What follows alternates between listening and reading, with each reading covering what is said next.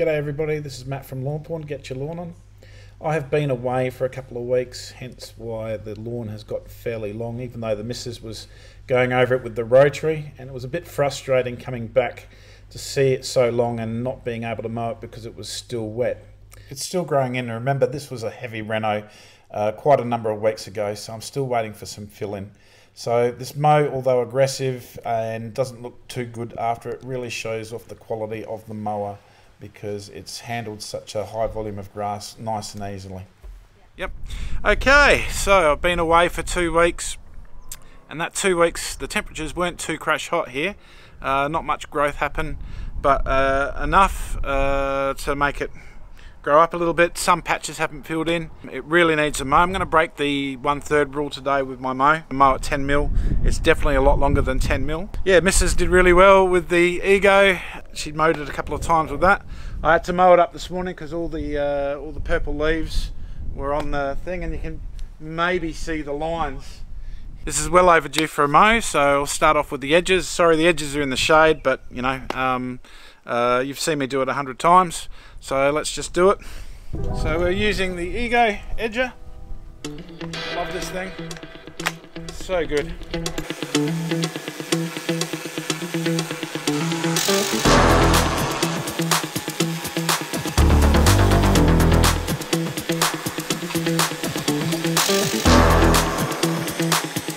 I'm going to trim.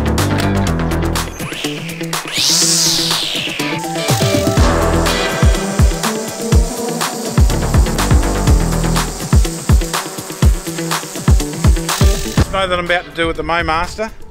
Oh geez, I hope I've got petrol in it. um, is going to be uh, 10 mil mow. This is about 20 mil, so I'm taking about half off.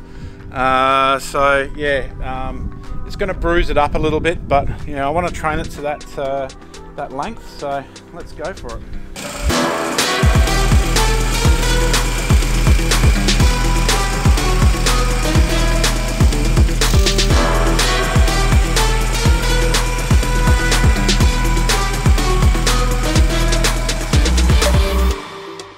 Felt uh, really at home with the Mowmaster R22G. It felt very much like my Mowmaster R22W. But the only difference is that groove front roller, 10 blades instead of 8, and also a teasing brush, which you could notice during the mow. Now this mow I've taken a lot off. That was just three passes, that uh, little bit of a you know half bucket. So it's a really, really hard mow, and as you can see, it hasn't grown in properly. But look, you can see that uh, the lines are coming up already, and even though it's not in its best condition, and look, it's a beautiful mower, and I'm really looking forward to the grass maturing up, uh, growing in uh, a few PGR apps to thicken it up, and I'll really start getting some nice line action here. So, all in all, the impressions that I'm getting from this mower are just fantastic.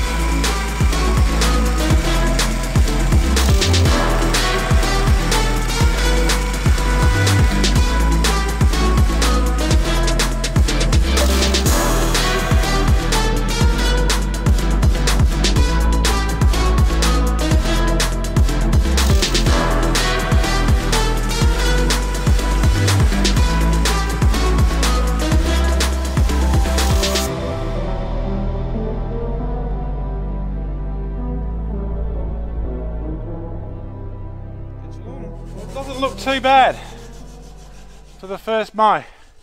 First lines of the season. The sun's right, it's like what's about noon or something? Is it maybe? About, Um, yeah. about yeah. So the lines aren't showing up that well because the sun's directly above.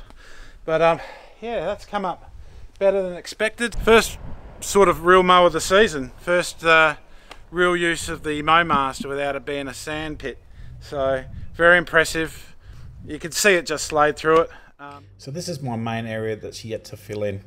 I'm using a Pro plugger to uh, assist me in filling in that area. I've had mine for a while now, and these are available from Reel Solutions, I think. So I'll put a link in the description, as they're probably the only ones that uh, I know that really have them. But it's quite simple here. I'm just taking out some of the uh, plugs that are just all sand and soil, and they're all sitting in the uh, tube there. So that's the plugs that I'm I'm getting and you can see my top dress was about that thick. It was just too much for the grass that was there. There's a little bit of thatch in there, a little bit of die off. So this shows you though, um, around about here was where my original um, original lawn sort of was and it's come up that much over two seasons simply because it was just way under the foundation. So yeah that's why it's been quite the task here. So you find an area of your lawn with the same lawn type obviously that isn't as noticeable isn't as looked at. And I've gone in the back corner here where everything's full up. And I in the end I took out five holes. So I'm going to pick up five plugs here. So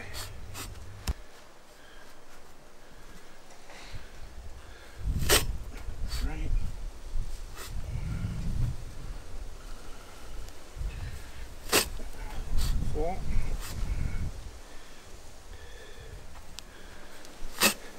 five beautiful. So they're all loaded up in that. Now I'm just going to use these plugs to replace these holes.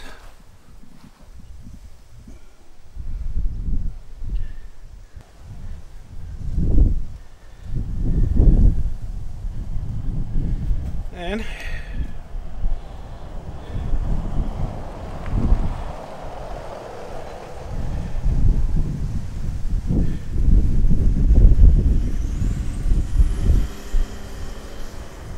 These will go back in now. Side down, see what we got. One more in there. There is. There it is. That's the older area, and this one over the last couple of seasons I've brought that up quite a bit too. This whole lawn, when we took it over, what March 2020 was just utterly low.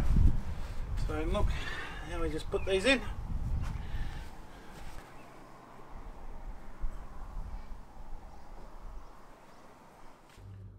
So these plugs will grow nicely into the area. They'll start spreading out and filling in that area as it fills in from the edges from the grass that's around it. So I could have put a few more in here, but look, five will do. Uh, it's going to start growing quickly now because there's a, a, bit more rain coming and also a bit of heat after that, so she should go quite nicely.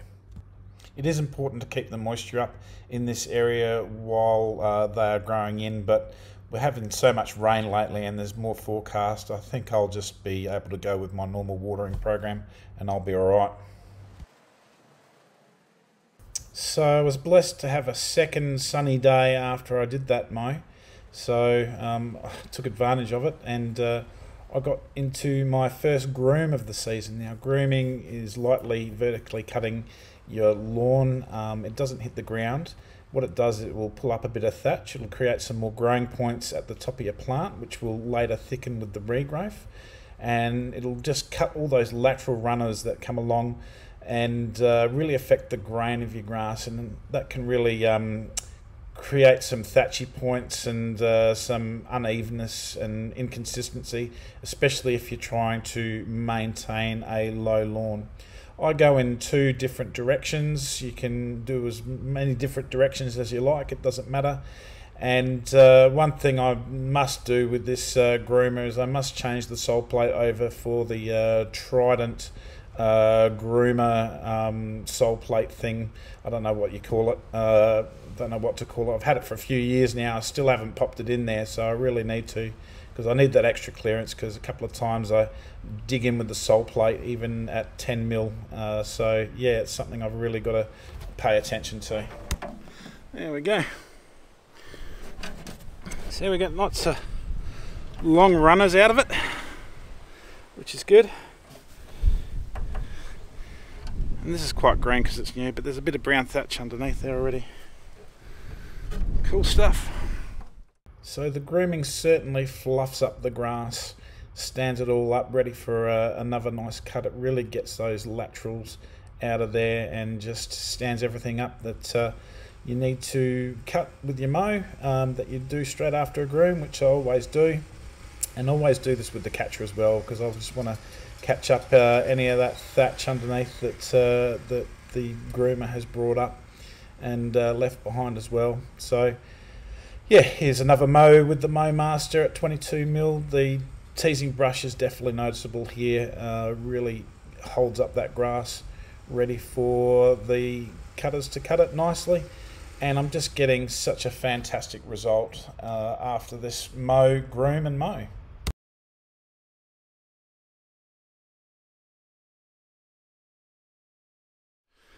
So I've done a, you know, this this hadn't been mowing uh, with anything but a rotary twice uh, during two weeks.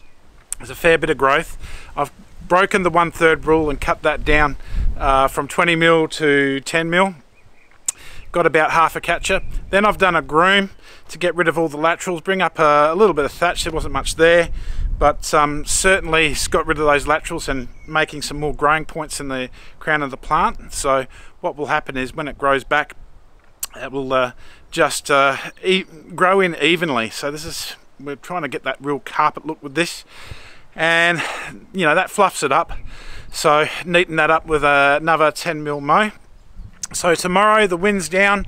Uh, I'll be looking at doing a green light app and I'll be putting oh, quite a heavy PGR in there. I'll probably put 10 mils PGR uh, plant growth regulator. Why do I want to do that? It's because I'm going away again for two weeks in a few days time. So I just really uh, want to be able to control the growth and uh, you know what will happen with that is that I'll get that nice deep dark green, no surge growth with the Sorry, it's a bit windy here. Yeah, no surge growth with the green light, uh, but I get that nice deep dark green with the uh, iron that's in green light and the PGR, that'll control the mowing. So my missus doesn't have to worry about it too much. And look, it'll uh, just be a, uh, it'll start growing laterally more and it'll just thicken in and just get that nice consistent look that I'm, I'm hoping for. So yeah, that's the plan, that's the video. Yeah, it's all good. Get your lawn on and catch you later.